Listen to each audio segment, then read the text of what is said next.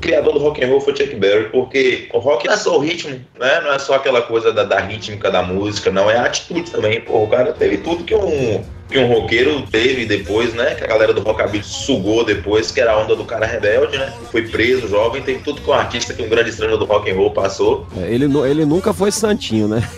a gente olhava aquele, a gente olhava aquele velhinho carinha de com um chapéuzinho de, quando eu fui lá ver mesmo ele tava com aquele chapéuzinho de marinheiro e uma camisa de abacaxi, estampa de abacaxi. É. Você vê aquele velhinho tal, tá, vovozinho assim, mas ele nunca foi santinho não. Ele era um cara que bem rock and roll. Foi um adolescente rebelde, né? E além das letras também, né? Que ele falava sobre o que o rock falava na época, curtição, mulher e rock and roll. Só não falava de futebol, né? Mas o resto, então, por atitude, eu dou a ele a, o crédito de criador do rock and roll, de Deus do rock.